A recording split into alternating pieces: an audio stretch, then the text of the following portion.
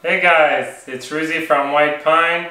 Um, in today's video, we're going to be going over some intermediate core exercises. Now, if you guys haven't checked out the video prior to this, where we go over beginner exercises, make sure you check those first, you see how those feel, and then you work your way up. And if you guys can give me some love, give us some support, make sure you press that like button, share our videos with your friends, and subscribe to our channel. We're, we're going to go over bird dog right now. Uh, bird dog is a great core strengthening exercise. It also works on our balance and really helps with that mind and body connection. Now what I want you to do, your hands are going to sit underneath your shoulders. You're going to engage your shoulder blades, so contract those shoulder blades together. My knees are lined up with my hips. I really want to be aware of my low back, so I don't want that arch happening. I want to engage my core, keep that back nice and flat. and try to keep a neutral spine, so I don't want to be looking forward like this. Neither do I want my head to be coming down this way. I want to be looking about a foot or two in front of me. Okay, I'm going to extend one arm, thumbs up, opposite leg, bring it back down. Make sure you keep that core nice and tight. You want to make sure there's no arch in your low back. So again, exhale, bring it back. Now the opposite exhale, bring it back. You really want to make sure that your hips are leveled. What's really common is that as I do this, my body wants to open up. So bring that hip down, make sure you're nice and leveled. Back in, then again, exhale, and back in. Now we're going to be going over the dead bug. What I want you to do, lay on your back, make sure you squeeze those shoulder blades, make sure you pin that low back. So I'm going to engage my core, pin that low back, bring my knees off the ground, okay? One thing I need you guys to be aware of when we're doing these exercises, make sure that low back stays flat on the ground. Hands up, okay? Thumbs up, and what I'm going to do, I'm going to extend one arm and the opposite leg at the same time. Exhale, bring it back in. Exhale, bring it back in. I need you guys to make sure as you extend, you keep that core nice and engaged and that low back does not come off the ground. So again, exhale and bring it back in. Guys, just make sure when we're doing this exercise, the further I extend my leg away from my body, the more challenging it gets for my body to keep that low back pinned. So you, if you're extending all the way and you feel like you're arching, don't extend as much. Work your way up to it. So bring it maybe till here, back up, here, back up, till you build more strength. Then you can go full range, back up.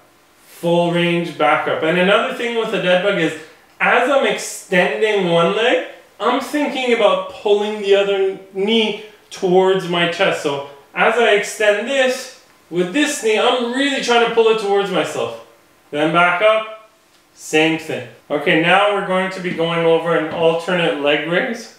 So I want you to lay on your back, squeeze those shoulder blades together, pin that low back on the ground, engage your core, hands on your sides. I want both feet off the ground, go into a dorsiflexion, so point your toes towards yourself. I want you guys to extend one leg, bring it down, exhale, back up, inhale, exhale, back up, inhale. Now if it's challenging to keep your low back on the ground, as you're doing this, place your hands underneath your glutes. Okay, so you're to elevate your glutes just a slight bit, which is to help pin that low back on the ground. So I'm doing the same thing. Exhale and inhale.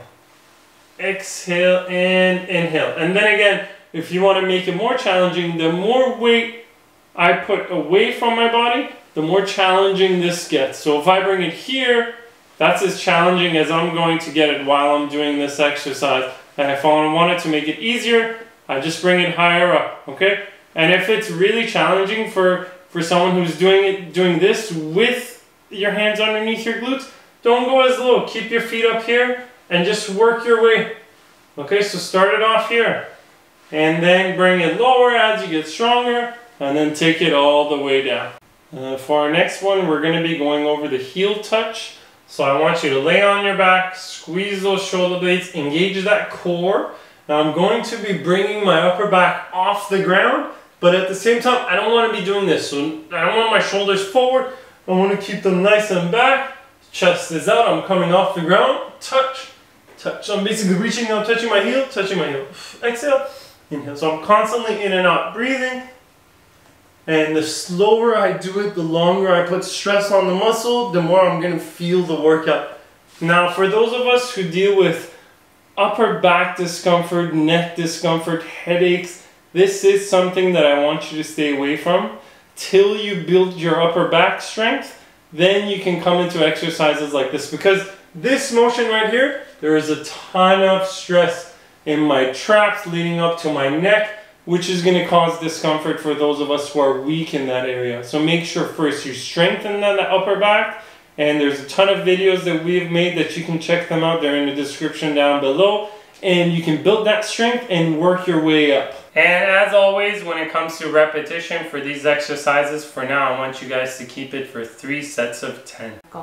I hope you guys enjoyed that video, guys. If you guys have any suggestions or recommendations for me, or any questions, please do write them down in the comments below. And if you guys can send us some love, like our videos, share our videos, and subscribe to our channel.